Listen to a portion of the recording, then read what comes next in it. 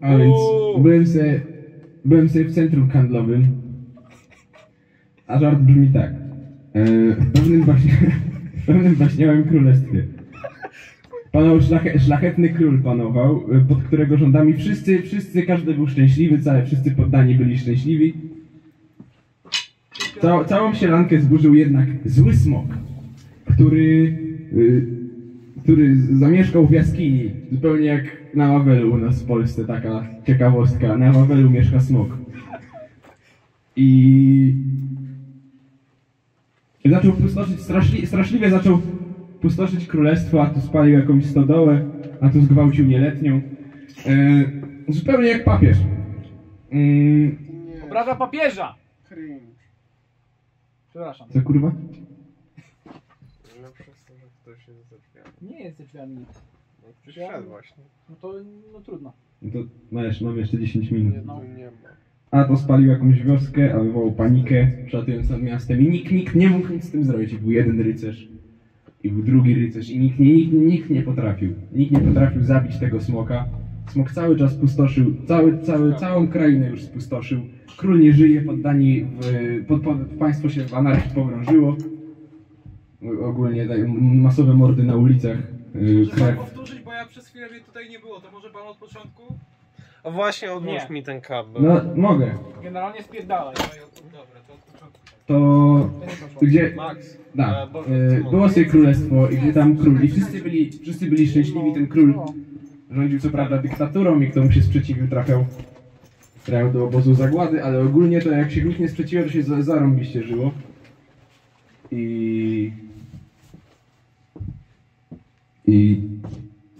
Smok. Pamiętam, że był smok. Tak. I, i się pojawił smok. I smok z, z, spustoszył całe, całe królestwo, nikt nie potrafił go powstrzymać. Na początku, na początku był yy, jeden rycerz, bardzo dzielny, żółty był.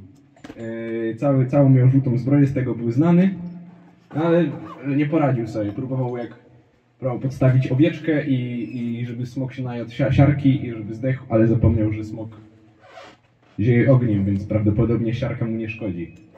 Mm, No i, no i go zabił. Zabił, zabił rycerza smok. Potem był drugi rycerz, który nie miał jakichś specjalnych umiejętności też. Po prostu taki rycerz był, który uznał, że zabije smoka. No i nie zabił. No i, i, I tak to trwało jakoś parę, parę lat, więc król ogłosił ogłosił yy, ten już następny król, bo ten pierwszy nie żyje. Ten, ten, ten pierwszy król nie żyje, a drugi, drugi ogłosił drugi ogłosił, że który, który rycerz zabije smoka, ten będzie mógł poślubić jego córkę, a córka była nieziemskiej urody i była, była ogólnie bardzo, bardzo pożądana przez wszystkich. I wieść po trzech latach dotarła na naj, najdalsze zakątki królestwa i, i, przy, i, był, był jeden rycerz, który o tym usłyszał, a specjalizował się właśnie w zwalczaniu różnych jaszczurów, gadów, potworów.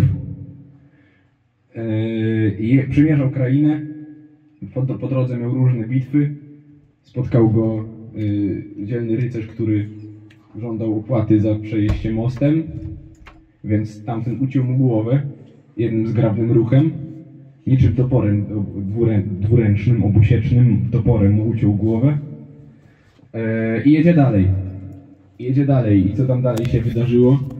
Yy, Dalej się ni- ni- nic większego nie wydarzyło, po prostu musiał strasznie, strasznie długo jechać i miał tam polanę do, do przejechania. I a księżniczka już, już nie taka młoda, bo już 5 lat minęło, więc musiał się śpieszyć.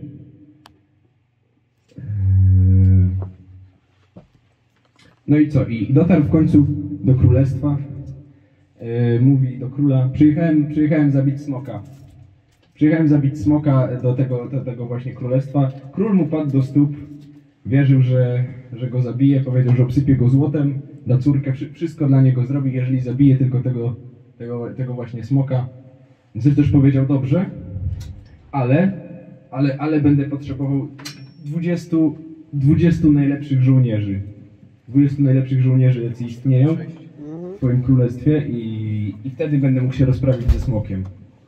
Więc król bez zbędnego pytania poszedł sprowadzić 20 żołnierzy, sprowadził Gwardię Królewską yy, i pojechali.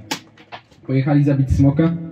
Yy, Smok, pojechali do tej jaskini, jechali, jechali, widzieli spustoszałe wioski, pełno ludzi, pourywane kończyny, wszędzie walała się krew, wszystko, wnę- wnętrzności.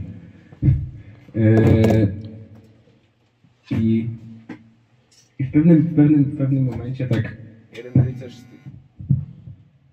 jeden rycerz z tej gromady jeden, jeden rycerz z tej gromady powiedział, że on nie da rady, że to jest dla niego zbyt stresujące, więc yy, zdezerterował. Zdezerterował, uciekł, wyniósł się w pizdu. I... Chłop poza kadrem. i Wodę? co? Chcesz wodę? Nie, dziękuję bardzo. Dziękuję, dziękuję bardzo. Jak, jak pan się nazywa? Maksymilian. Maksymilian, bardzo, proszę zapamiętać to imię. Propo, zaproponował mi wodę. Wróć do kadru może. To mógłbyś wziąć. Wojtku, wróć do kadru może. Co ty na to? Pierwszy kurwa, nie Wojtku, tylko panie Wojciechu, a po drugie to spierdalaj. Siadaj dupę i nie pierdol, proszę. No, i gdzie to ja skończyłem? W piździe. Przesiadź A, zdezerterował. Zdezerterował, rycerz zdezerterował, uciekł i tak powoli przejeżdżali przez 20 kolejnych wiosek. 20 rycerzy zdezerterowało po każdej wiosce, każda gorsza od poprzedniej. No i co? I, I rycerz został już samotny, jedzie na swoim pięknym, czarnym koniu. Yy, koń był niez, niezwykle wysportowanym koniem, był wielki, miał ogro, ogro, ogromny, nawet, nawet większy niż wszystkie konie Aleksandra Wielkiego. Miał złotą, piękną grzywę, a kopyta, a kopyta jego stukot wydawały nieziemski. No. Yy, I co? I dotarł do jaskini. Dojechał do jaskini. Po pięciu miesiącach wędrówki dojechał do jaskini. Yy, no ale taki był trochę no, niepewny tego, czy pokona tego smoka sam. Więc zebrał dziesięciu najbardziej mężnych y, ludzi, mężczyzn. najbardziej dzielnych mężczyzn z, z okolicy. Wyposażył ich, gdyż miał broń po żołnierzach, którzy wcześniej zde- zdezerterowali. I, I ruszyli. Ruszyli szarżą na smoka. Smok nie, za, nie zauważył. Zionął ogniem, wszystkich, wszystkich ich zabił. Został tylko jeden, jeden rycerz dzielny nasz, który, który przemierzał za, za całej doliny. Uciął, uciął smokowi kawałek ogona. Dziękuję bardzo. I, I uciął smokowi kawałek ogona.